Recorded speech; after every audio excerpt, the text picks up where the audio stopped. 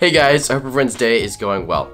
Today we're going to be taking a look at the Mowl Obsession Plus. This is a really satisfying and fun bimetal throw actually from Mowl, and I'm super excited to talk more about it. So without any further ado, let's jump right in. So first things first, I want to give a quick shout out to Kenta Kushiro as well as Mowl for making this entire video possible. They sent me this yo along with three other Mowl yo-yos, and I'm super excited to talk more about those. Those will be coming out in other reviews, but I just want to give a shout out to Mowl and Kenta for sending me these yo-yos. All their links and contact information will be in the description down below, so be sure to check them out at the very end of this video. Okay, so in order to get just an idea about what the Obsession Plus is all about, let's first take a look at the specs, and then we'll talk more about the design.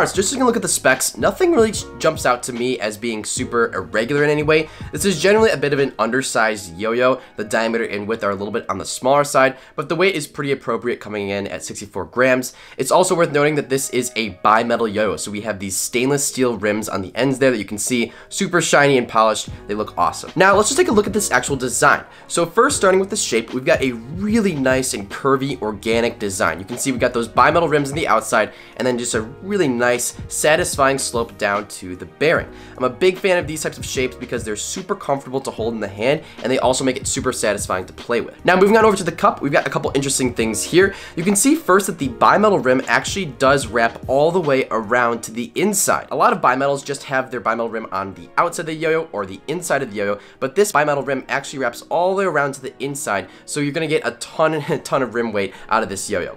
From there, we've got this really cool artwork and design. So it's like these two hands that are kind of like circling around a brain.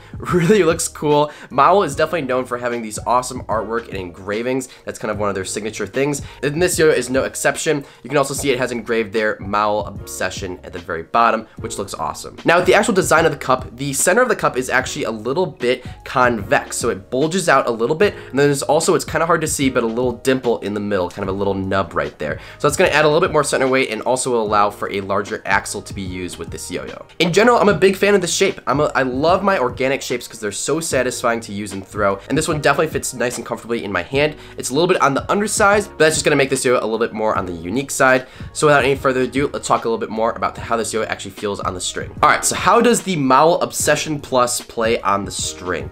This is a very, very special yo-yo, guys. The first thing I noticed was just how satisfying this yo-yo was. Since this is an organic shape and it's a bimetal design, this is an incredibly satisfying yo-yo to play with. It definitely exudes a ton of stability. You can tell that. It's got those large rims there, but it's not overbearing or overpowering. That's one thing I wanted to note.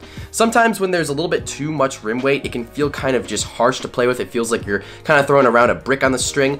This yo is an exception to that standard. This yo is very, very fun to play with. And I think that's really contributed to this awesome organic shape. When they have this kind of curvy rims and curvy design, it just makes it a lot more fun to play with the yo-yo, and it doesn't feel like stale in any way. As you can see, fast tricks were really pretty easy with this yo. I wouldn't say this yo is like very extreme in regards to floaty or heaviness. I'd say it's pretty middle of the road, but I found that without too much work on accelerating this yo, I was able to get it up to speed and playing nice and quick. It also is an undersized yo-yo, so there's less volume that actually needs to travel through the air, which makes it a little bit easier to do faster tricks with. This yo-yo definitely kept up in regards to power, even though it is undersized. Since it's got those beefy rims right there, it really spun for a nice long time, and I was actually super impressed with how long this thing could spin for. I would finish one of my longer combos, and this yo would still have a good amount of spin left, which is definitely a testament to its stability. I thought that whips, slacks, and hops, and all those types of tricks were pretty good with this yo-yo.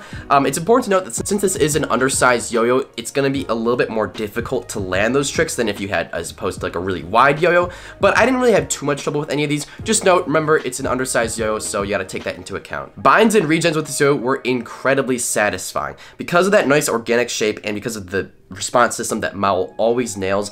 Regens were very consistent and not snaggy, and binds were also exceptional. They felt very satisfying, and I felt like I could rip off each throw with a decent amount of power as well. Horizontal this yo was actually shockingly good. I was really impressed with this. This yo stayed on axis really, really well, and when I was doing some of my more extreme horizontal tricks or pushing it to its limits, it was still able to kind of finish through with those. I think that's a testament to the large bimetal rims that really help out with the stability and spin time. And then finally, grinds with this yo were pretty darn good. Good.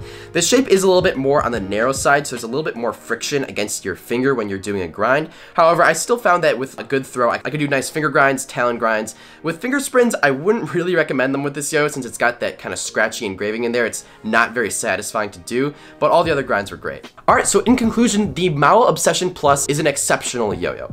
It really is so satisfying and fun to play with. It's got that nice undersized feel, so it doesn't feel like a stale competition yo-yo. It doesn't have overbearing rim weight, but it's definitely got a ton of power and stability, and I was very impressed with the playability of this yo-yo. I would say this is the perfect yo-yo for someone who's kind of wanting a really fun and enjoyable throw that can also perform very well. That's one of those more undersized bimetals. I think it's perfect for those requirements. All right, I want to thank you guys all so much for watching this video. If you did enjoy, be sure to leave a like. Also, if you guys are new here and haven't seen my videos before, hit that subscribe button so you can see whenever I post a new video. I hope you guys all have a great rest of your day, and I'll see you next time. Peace.